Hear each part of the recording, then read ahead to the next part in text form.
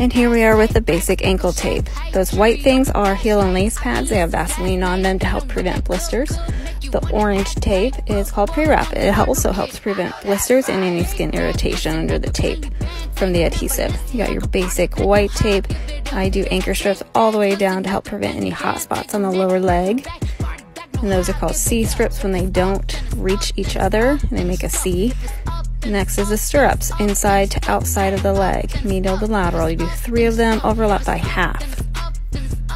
Next up is going to be figure eight and heel locks on each side.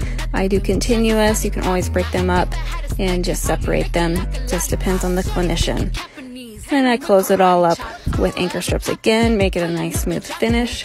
No wrinkles when you're in school practicing this. You need to get it done in two minutes, and by golly, I still got it. Boom.